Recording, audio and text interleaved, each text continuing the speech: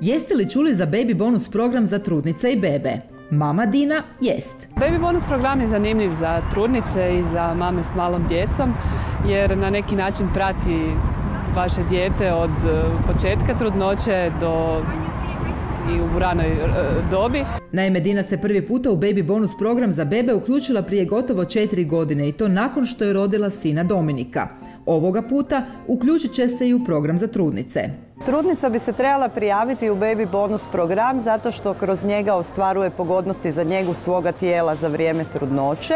Dobiva edukativni sadržaj gdje si može malo pročitati što i kako za vrijeme trudnoće se ponašati prema svome tijelu, da se ugodnije osjeća i naravno popratno dobiva knjižicu u kojoj su određeni proizvodi koji trebaju svakoj trudnici za vrijeme trudnoće. Nakon što rodi, svaka majka ili otac u Baby Bonus program mogu prijaviti i dijete i to putem mamine Active Beauty kartice.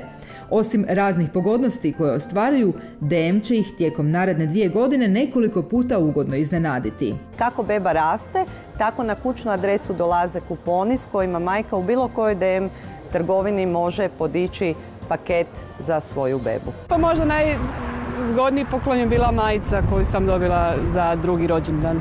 Još se niste učlanili? DM-ov Baby Bonus program vjernosti čeka na vas.